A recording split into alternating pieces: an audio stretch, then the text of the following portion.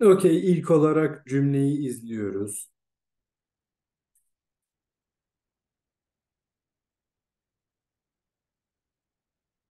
Ben bu cümleye ilk kendim baktığım zaman birkaç seferden sonra böyle her gün bir kere bakıyorum bu cümleye sonra diğer günlerde de birer kere bakıyorum falan böyle böyle birkaç gün sonra bayağı bir ezberlemiş oluyorum. Yani buna da bir 20-30 kere abartmıyorum bakmışımdır.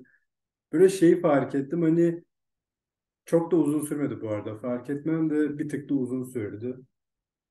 Hani böyle herkesin aynı kıyafeti giymesi komik bir şey ve bununla eğleniyor böyle bunu söylerken falan. Bu cümleyi ilginç yapan şu ana kadar baktığımız cümlelere kıyasla faktör benim için bu. Hani böyle herkesin aynı kıyafeti giymesi komik bir şey ve bunu ifade ediyor ve bunu anlamamız gerekiyor falan. Öyle. Düşünmeye devam. Okey, şimdi ben yapıyorum. Ben şu kalemi bıraktım. Ben dün gitmek hani gitmek şu ama böyle yapınca da gitmek oluyor demek ki.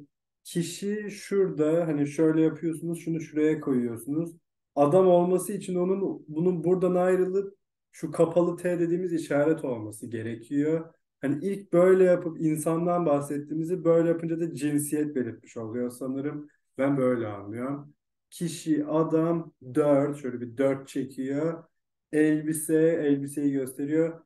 Şu aynı demek bu zaten.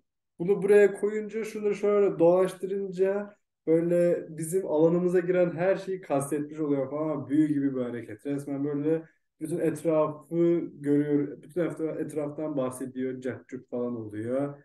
Hep aynı derken de gülümsüyor orada falan. Söylediği şeyin komik olduğunu da görüp kastettiği şey daha da spesifikleşmiş oluyor. Yani evet herkesin aynı kıyafeti giymesine gülüyor.